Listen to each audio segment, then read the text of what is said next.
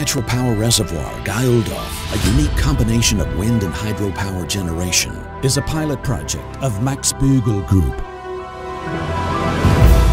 With the expansion of renewable energies, we are faced with a problem that we have to be able to react to wind and sun. There are times of power overproduction and times in which we cannot provide enough power, which is why we need to control energy. We are constructing the natural power reservoir Gaildorf on this site, a combination of wind and hydropower. We generate wind power with our wind turbine generators, and in case of overproduction, we can use the excess power to pump up water and charge the battery, so to speak. Down in the valley, you can see the lower water reservoir. When surplus energy is available in the electricity grid, water is pumped to the upper water reservoirs via a penstock. If there is a power shortage in the electricity grid, we can drain the water from the upper water reservoirs, generate power with the turbines, and feed it into the electricity grid.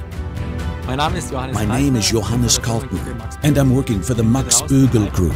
I'm the technical project manager out here in Gaildorf, and I'm in charge of the construction of this project.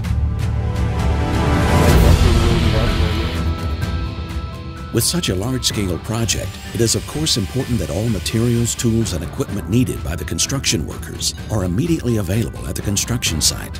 With Wuerth, we have a strong and competent partner by our side.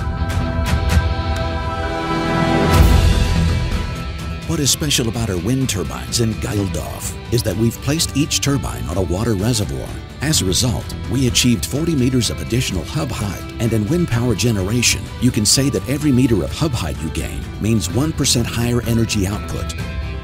The wind power plant has a hub height of approximately 180 meters, and the total plant height with the wing in a vertical position comes to almost 246.5 meters. We have built the highest wind turbine in the world, and we're proud of it.